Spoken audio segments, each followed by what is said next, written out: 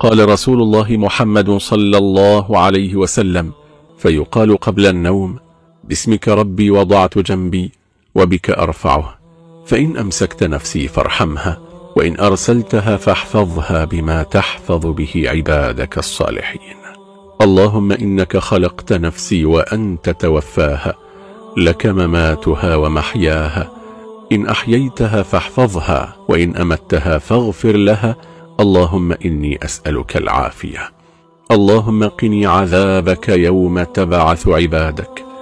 الحمد لله الذي أطعمنا وسقانا وكفانا وآوانا فكم ممن لا كافي له ولا مؤوي. فتلك الأذكار وغيرها من أذكار رسول الله صلى الله عليه وسلم قبل النوم. تحفظ العبد بكرم الله وحفظه من أذى شياطين الجن والإنس. فقال رسول الله صلى الله عليه وسلم فإن في الجنة غرفا ترى ظهورها من بطونها وبطونها من ظهورها فقام أعرابي فقال لمن هي يا رسول الله؟ صلى الله عليه وسلم. فقال لمن أطاب الكلام وأطعم الطعام وأدام الصيام وصلى بالليل والناس نيام. فصوموا يوما شديدا حره لحر يوم النشور.